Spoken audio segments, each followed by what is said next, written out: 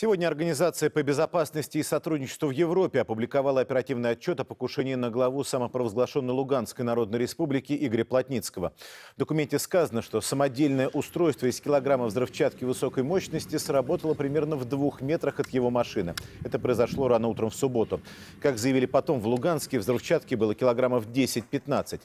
Источник агентства РИА Новости сообщил только что, Плотницкий остается в больнице, состояние стабильное. Накануне говорили, ему сделали операцию. Помощь медиков понадобилась также водителю и охраннику. Глава ЛНР записал аудиообращение к жителям региона. Я жив и здоров. И любые попытки спекулировать на моем здоровье – это происки наших пособников украинской стороны. Вы ведь знаете, война еще не закончилась. И за украинским правительством стоит конечно же, спецслужбы Соединенных Штатов и тех, кто пытается раскачать ситуацию и в Украине, и в целом в мире.